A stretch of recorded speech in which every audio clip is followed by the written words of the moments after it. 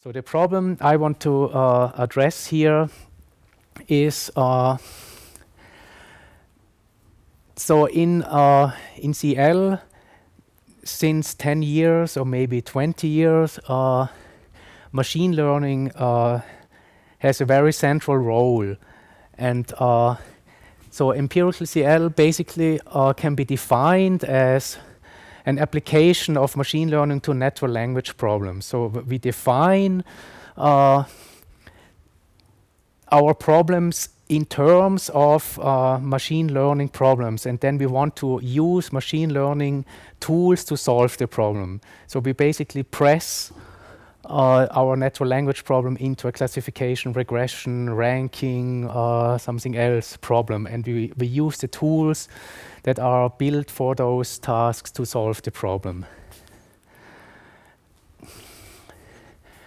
So machine learning assumes that uh, if you want to use those tools, if you want to solve those problems, that you are given an uh, representation of instances. So the instances are known as vectors. So all, all you know, your world consists of a vector representation of instances, right? And an association of instances and labels. But in computational linguistics, that's not always true. So it's not always true that you are start that you can start with a feature representation of instances. You will you will create your features manually. It's not like in uh, in vision where you where the pixels are naturally given images, uh, naturally given features. And you are not always given instances and labels, right? So people sit down and annotate the data by hand. So that's a bit that's that's an important difference. And so my question is, can we really do what people like uh, Kevin Korb suggest, namely take machine learning as philosophy of science for computational linguistics? And I would say, well, there are you have to be careful if you want to do that because uh, of this manual data annotation issue. So now uh, I, I, really want to go even deeper into something that uh, you might think is not uh, stuff you have to care about here at KIT, at, a technical university, philosophy of science, but just uh, stay with me. okay, uh, the idea is I want to understand or basically use uh, the terminology from the philosophers to understand this manual data and feature construction problem. So that's uh, what I described in this uh, computational linguistics paper. So and, and, and what I start from is uh, philosophy of science that's actually founded by a physicist, Joseph D. Sneed, and, and he made a distinction between theoretical and non-theoretical terms in response to what people in, uh, in the empiricist tradition called uh, observational terms and theoretical terms. So in, in his framework, there is no observation terms and theoretical terms. It's always, all terms are theoretical with respect to a particular theory. So you have a, a theory and uh, terms are theoretical with respect to that theory or non-theoretical with respect to that theory. So you always start from this relativistic point of view. And uh, by theoretical terms, it's easier to understand it if you talk about theoretical quantities or functions. And what you have to do is you have to measure these quantities or functions. Okay, so let's look at a simple example of a theory. So that's uh, a simple theory of Archimedean statics. So the theory consists in a set theoretic notation of a tuple of uh, objects a 1 to an, then two uh, functions d and g, one, to, uh, one uh, denotes distance, the other weight, and uh, a central axiom, that's number six. And the central axiom can be understood if you uh, view it as a, a, pivot point and objects that have a certain distance and a weight from the, from the pivot point. So uh, the, the, central axiom tells you that uh, the product, sum of products of the distance and weight has to be the same for the objects on either side of the pivot point. Yeah. Okay, so if, if we now uh, want to understand what empirical statements are, yeah, then an empirical statement is a statement that a certain entity is a model of the theory. And a model of the theory is, a, is, is something that satisfies 1 through 6. Yeah? So the most important thing is 6, the central axiom. So for example, if we want to know if what we see here is a model of the theory, if is this an Archimedean static, so these children and this balanced it's not balanced here. I didn't find a picture of a balanced seesaw, but it's these children you can imagine if they are in balance. Is a model of the theory. So can we make an empirical statement? Why is an AS. So in, in order to make this statement, we have to measure distance and uh, weight of the children. And um, if we assume now that to, in order to measure distance and weight, all we have is uh, beam balance scales. You see, that's there's the bananas and there's the weight, and the, the guy can move the weight left to right, and and and uh, once the uh, uh the beam balance is in balance, then he knows what the weight of the bananas are. So if we if we assume that we have the only measuring procedure for weight is beam balance scale and for distance we have a measuring tape. Then uh, the problem is that the validity of our measuring results, if we measure the weight of the children, depends on the statement that Z, which is the entity consisting of the beam balance scale, the child, and the counterbalancing measuring weight, if we have a child instead of bananas hanging on this beam balance scale, then uh, so you see we, we have uh, a circularity problem. In order to measure the weight of the children, we have to presuppose successful applications of the theory. And in order to decide for successful application, we have to measure the weight. So it's uh, circular, so it, it's not an empirical statement. So that's the argumentation from the philosophers of, of science. So that there are complex physical theories, uh, theories in physics, uh, where you uh, where you can't get around this problem, and and and, and so and, and they they have a, a, a very complex. Uh, different ways to solve the problem, but the, the, simplest and standard solution actually is, for example, for this uh, Archimedean statics, you just use another procedure to measure namely a procedure that is not AS theoretic, an AS non-theoretic measurement procedure, like spring scales, then you don't have the circularity problem. You don't have to assume the validity of the theory that you uh, want to measure weights to make an empirical statement that something is a model. So that's the general solution. If uh, in to measure values of C T theoretical functions, you should use T non-theoretical measuring series. So the, the lesson from the philosophers of, of science is, so I'm not talking now about these complex physical theories where, you, where there are some other solutions that you need, but the standard solution is you have to make a distinction between your T theoretical and T non-theoretical terms, right?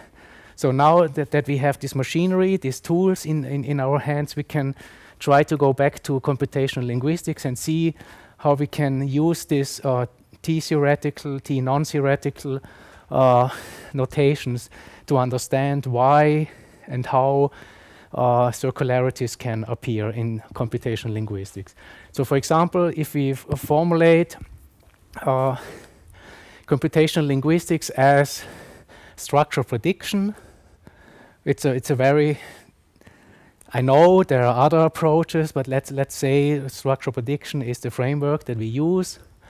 So what we have is we have a, a prediction function that uh, is parameterized by a weight vector, a d-dimensional weight vector, and a feature vector on labels and inputs, and some uh, some function that measures the compatibility of pairs x and y, like a linear model or a nonlinear model, and, and so on.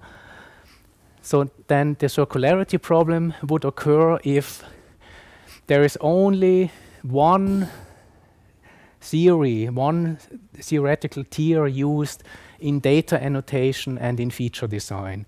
So it, it's always x and y you have to combine. And if you use one on, and only one theory to uh, assign y's to the x's and uh, associate x's and y's via features, then you have then you can say I'm running into the same circularity problem as before in the Archimedean statics example, as the, the problem that the philosophers of science have pointed out. So let's look at an example. So I've been working on patent translation and patent uh, retrieval for a while. And uh, what you do in that area is uh, you use citations of patents in other patents to create automatic relevance judgments. So you can create large amounts of training data, uh, queries, and relevant doc and documents by citation. So you can assume that uh, if a patent lawyer cites another patent, then this must be relevant. And patents that are not cited might be not relevant. So now if you want to do a learning to rank approach for patent information retrieval, then you can use features like same IPC class or same inventor or features on TF-IDF match or some other similarity uh, metrics as features and train on this relevance data, train and evaluate. So now somebody could come along and say, I have a really good idea for a feature. Why don't we uh, use uh, the citations as features in our model? then you can see uh, that, that this this won't work. It's it's it's it's this classical circularity problem. You can't you can either use IPC classes to annotate the data and use the citations as features, or use the citations to uh, annotate the data and the IPC classes as features. But you can't have the same uh, because all you're learning if you if you if you use the citations as features and to annotate your data is uh, you, you will put all the weight on this one feature and you will model the, the training data perfectly, but there is no empirical statement. There is no, there is no, you, you didn't learn, and you, you, you don't go beyond uh, your closed world of uh, automatic uh, annotation of training data and automatic construction of features. So another example in uh, semantics, so if you want, to learn semantic relations, uh, including presupposition and entailment, then there are standard linguistic tests like the negation test that allows you to make a different uh, differentiation. So the one uh, presupposition is preserved under negation, the entailment is not.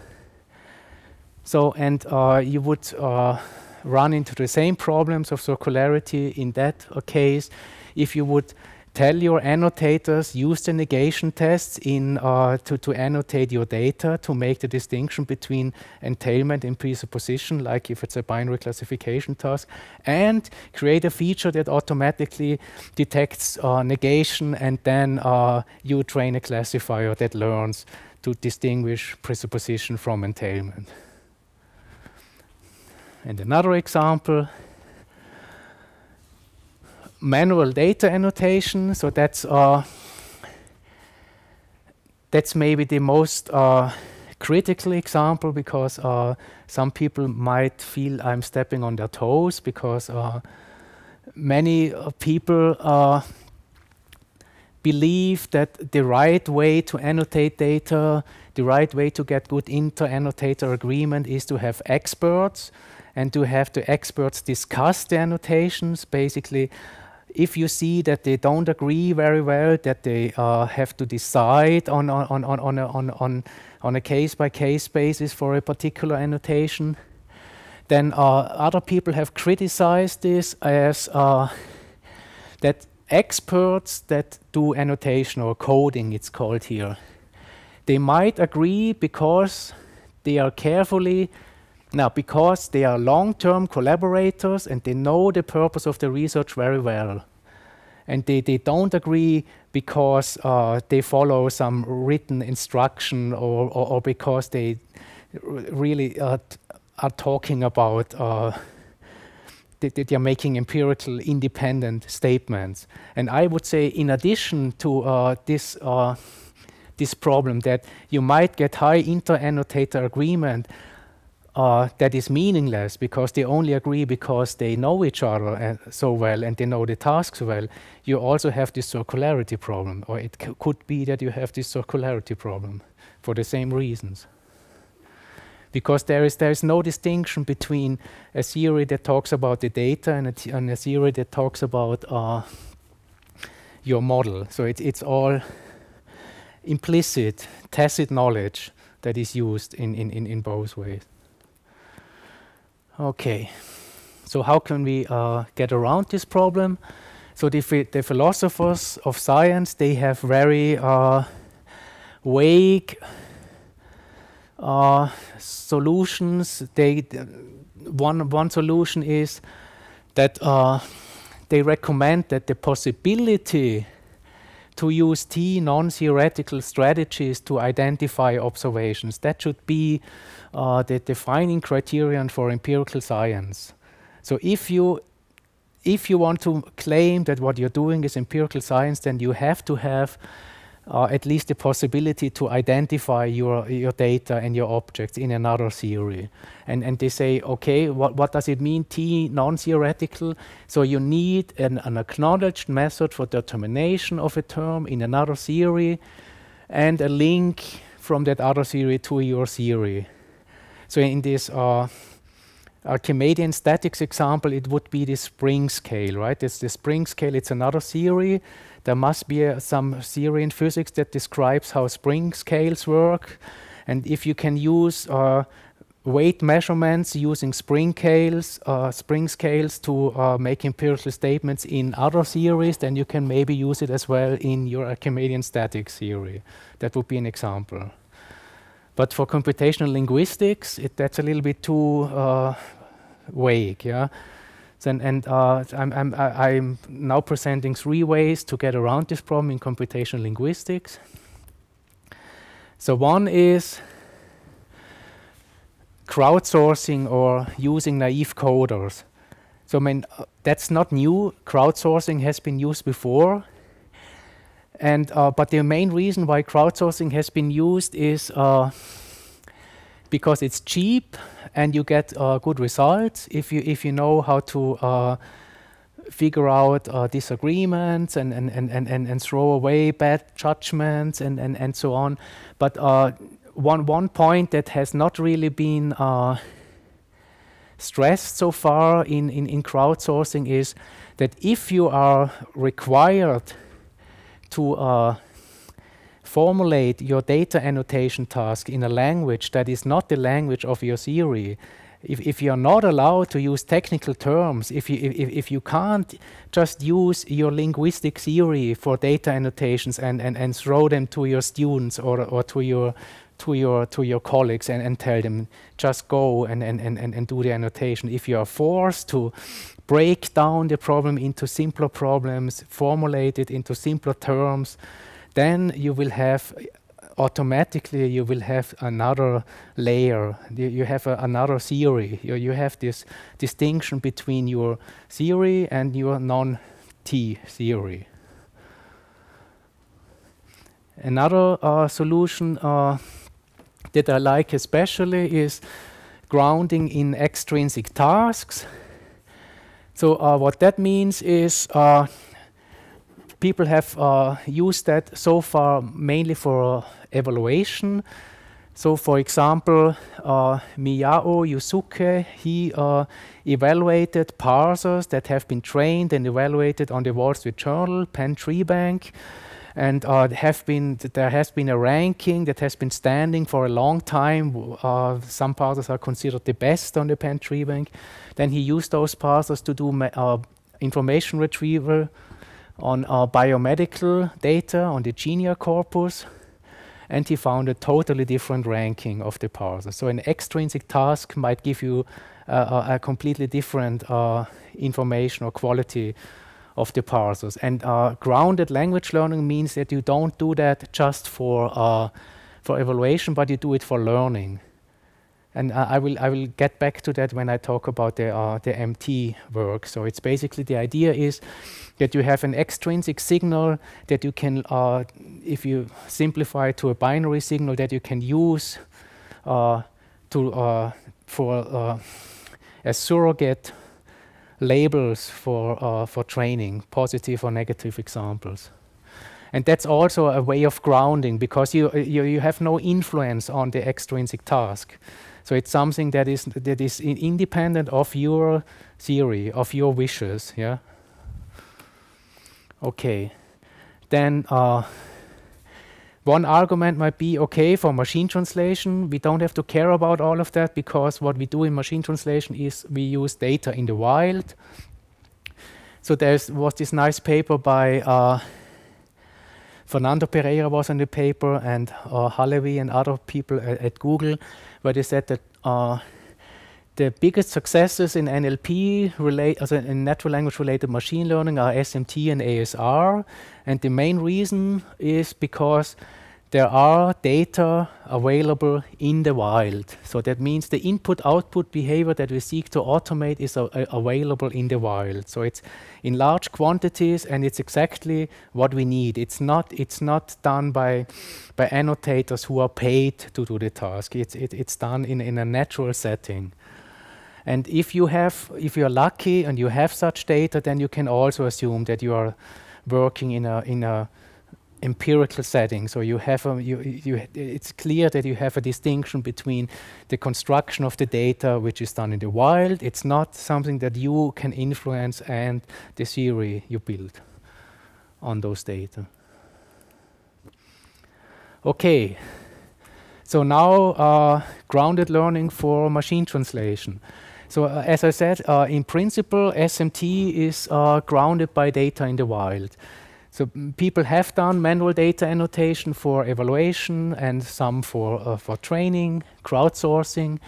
But uh, I don't know of a lot of work where SMT has been grounded in extrinsic tasks. And one of the things I'm, so what I have seen is uh, extrinsic tasks for evaluation, like reading comprehension tests have been used for evaluation for a long time.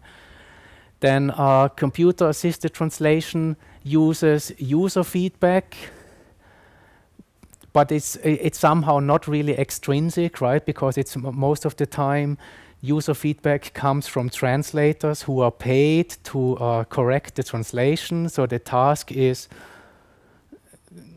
well, in a very abstract setting, correct the translation, make it a good translation. Uh, they, they, the professional translators don't really care what the translation. There's there's no extrinsic uh, task that they have to fulfill with the translation. They don't have to go and buy something or find the train station with this translation or something like that.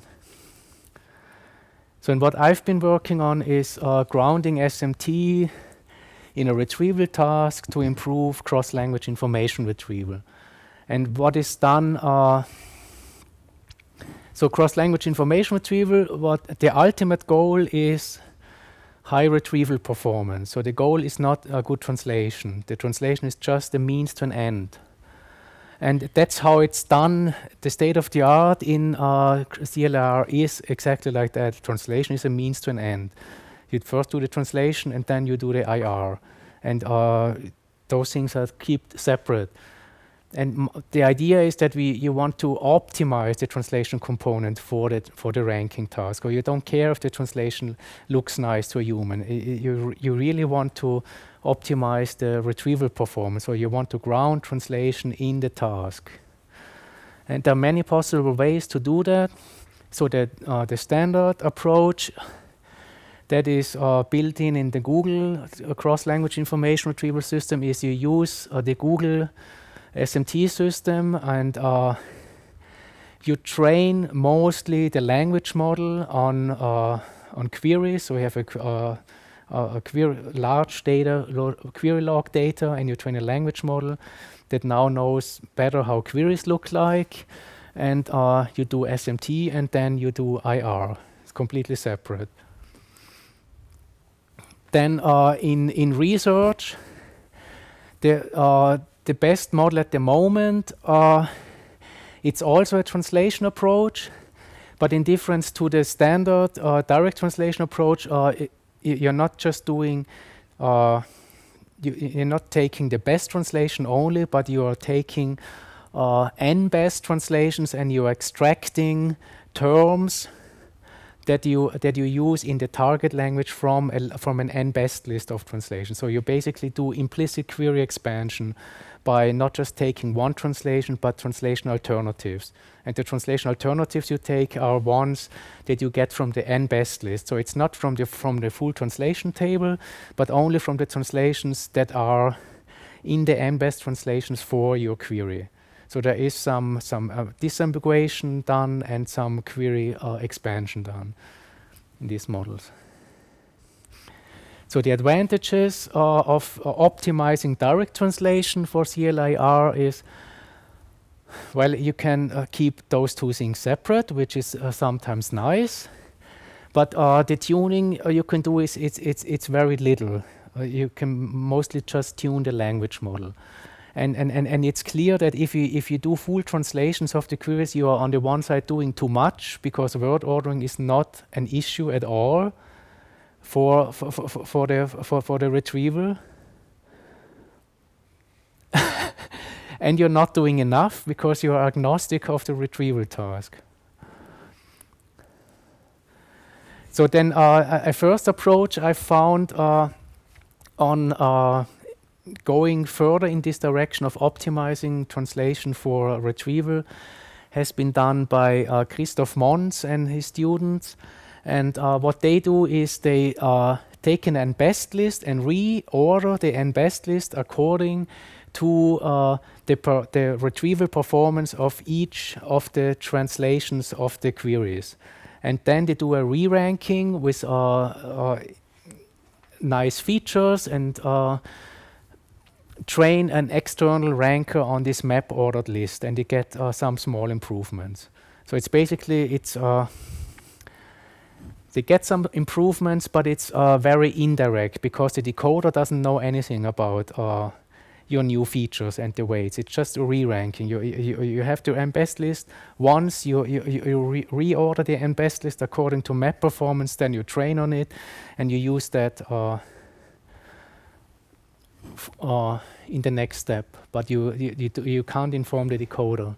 And it's costly because you have to do a retrieval step uh, for each translation. So in order to uh, do this reordering of the of the n-best list, you have to do a, uh, you, you, need an, a map score or NDCG score for each of the translated queries.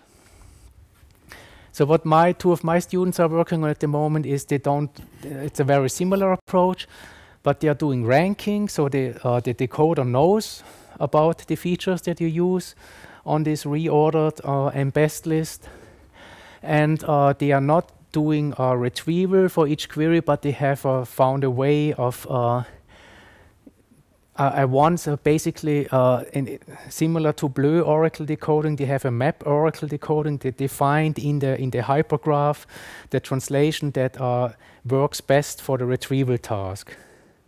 So by uh, yeah, decomposing uh, uh, the metric, so it's uh, an NDCG type metric, decomposing the metric, they, they, they can find the shortest path in the hypergraph that gives them the oracle, and then they can use this oracle to retrain, so to uh, basically uh, best versus rest for our ranking. So they don't have to do a retrieval step in each for each translation. So it's a more direct because it's ranking instead of re-ranking. It's less costly, but unfortunately, it doesn't work yet. So we we have to do more tuning. So it, it's it's in principle it it, it it it it must work. We just yeah we are not there yet.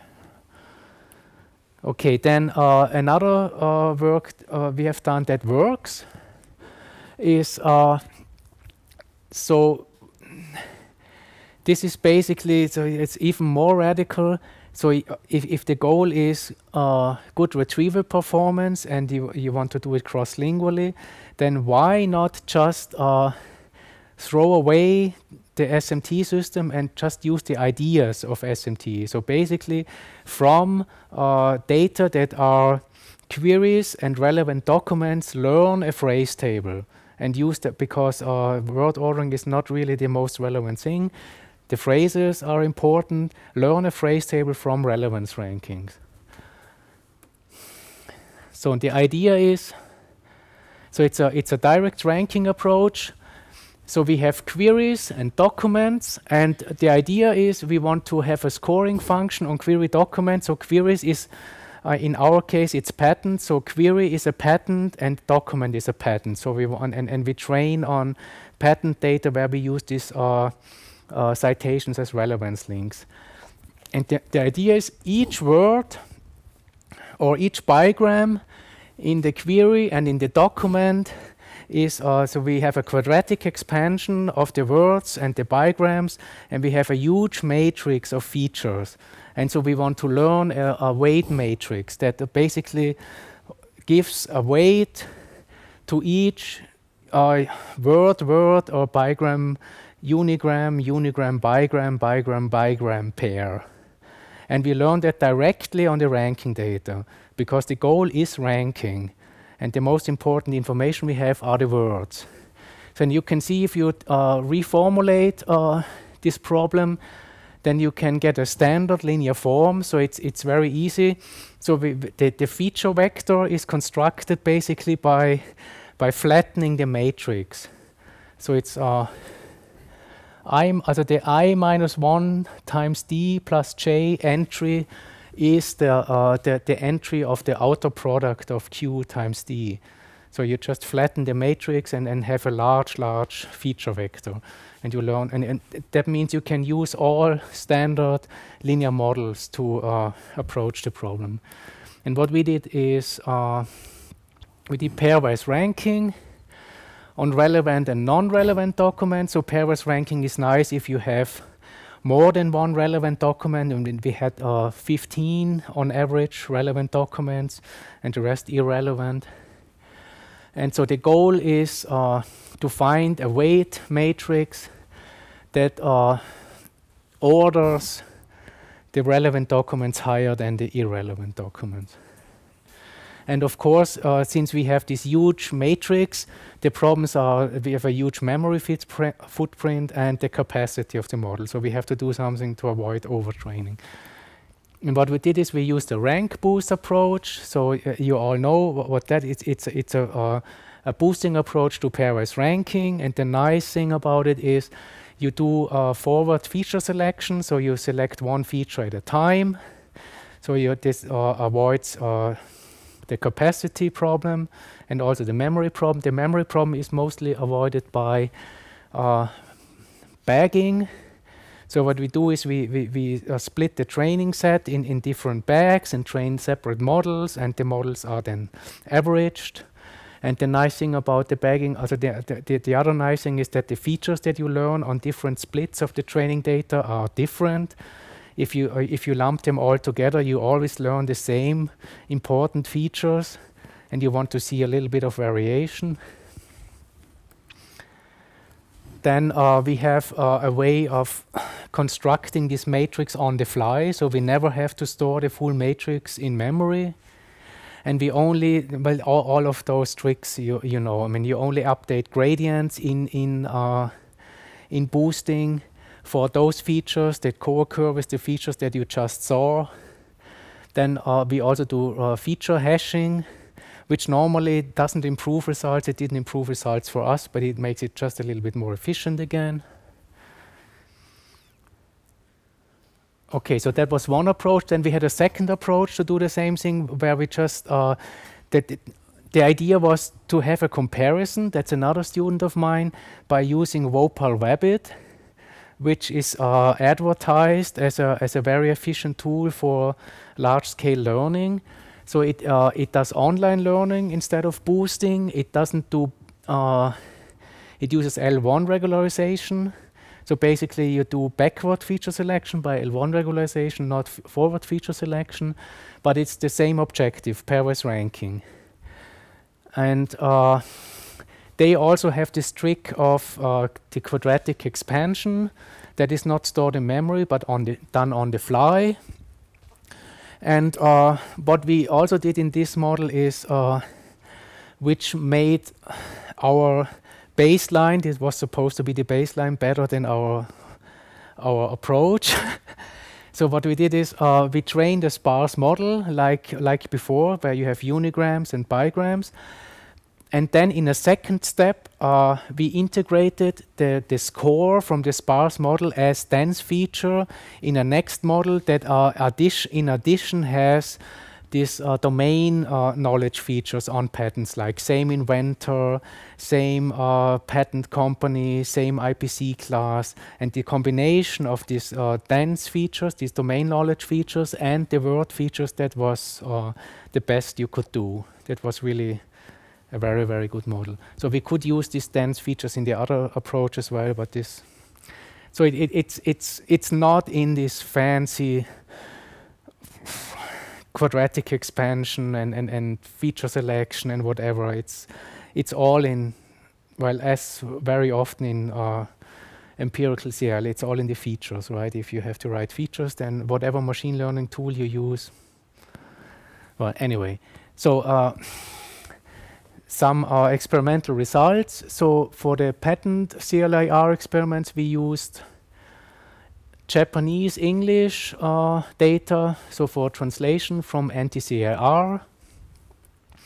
For ranking, we did this uh, automatic extraction of uh, of relevant patents by uh, looking at the citations, and we had three relevance levels. So family patents, which is the same patent filed at another patent office, is most relevant. Examiner citations are more relevant than applicant citations because applicants, they mostly, they are not really interested in citing a patent that already has the innovation in it that they actually want to publish. So it's the examiners can be trusted more than the applicants.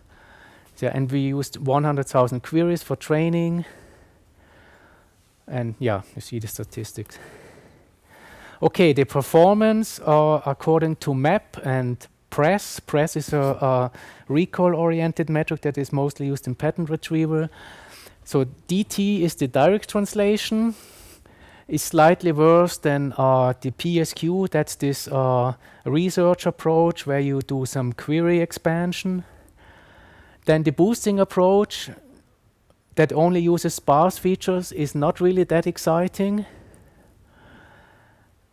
and Vowpal Wabbit using dense and sparse features is the, the very best approach. Yeah, 32 map instead of 27.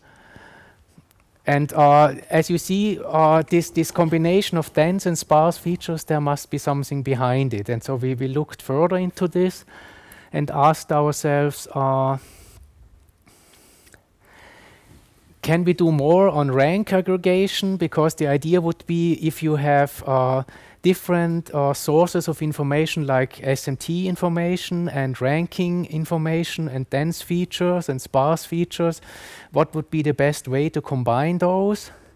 So we tried uh, two different ways. So one is uh, to add them as features to the Vowpal Wabbit model where you have uh, learner weight for each of them or just a linear combination of each of the scores or Borda counts. That's the same, right? And uh, what we found is so if you uh, remember the results, so here 27 was the best uh, translation approach, direct translation or PSQ, also probabilistic structure queries. And Vowpal Wabbit standalone was 32. So if we now combine uh, direct translation and PSQ either by Borda counts or by Vowpal Wabbit, it basically stays the same, right? It was 27 before, and now it's 27 again. So uh, uh, combining two approaches that uh, carry the same information, like they're both translation models, that doesn't help very much. And, and here the same, if you combine boost, also the, the, the sparse, also the word-based model that we learned by boosting with the Vowpal Wabbit model that combines sparse and dense features, we get up to 33 map. And before we were at 32.8. But if you combine now uh, orthogonal information like the translation approaches and the, the ranking approaches, then you get up to 37. and that's really big. I mean, uh, in, in information retrieval, it's it's like in, in well, I would say two two points in map is is big. Like in, in machine translation, you have two BLEU points. One BLEU point, yeah, two, and uh, so and we get five BLEU points. That's it's, it's it's really a big improvement. So, uh, but the the idea is to uh, orthogonal train orthogonal information systems and combine them, then you get what you need. So future work, uh, continuing on this line, is so if you, uh, maybe some of you know this paper by John Shawe-Taylor, one of the uh, main guys in uh, machine learning. Uh, he, he, he wrote the first uh, support vector machines book, so it was called the support vector machine book. And he had an approach uh, where he used kernel regression to learn phrase tables directly or without alignments. And that never worked. So he had uh, there were, were some follow-up papers that, that tried to use those phrase tables to initialize or to re-rank, and, and, and, never, nothing really worked. But uh, we we might try to use his approach for CLIR because our phrase tables are built in a very similar way. The, the phrase tables that we use for ranking, they are they optimize a ranking objective. They don't care about uh, word ordering. Uh, there's no language model involved, so it, it might be that this approach works very well for CLIR. And the same for a recent paper by uh, Phil Blunsom and, and his students where he used neural word embeddings to do uh, machine translation. And that model also has the problem that uh, it, it, it doesn't really work very well yet for translation because using these representations you can uh, keep going generating target strings forever so nobody tells you that, uh, that you are doing any worse in, in, in terms of uh, representing uh, the meaning in the target that you're supposed to uh, represent in, in the source. So that these, neural language model, uh, neural word embeddings, they are, they are really good for uh, as similarity metrics, as uh, meaning representations, but so far they don't, they don't work very well for translation. And again, maybe they work uh, quite well for CLIR because uh, that's exactly what you need for CLIR. It's, it's a problem of similarity. It's not a problem of uh, generating a string that uh, is fluent. And then I'm looking at uh, other grounding scenarios for SMT. Thank you very much.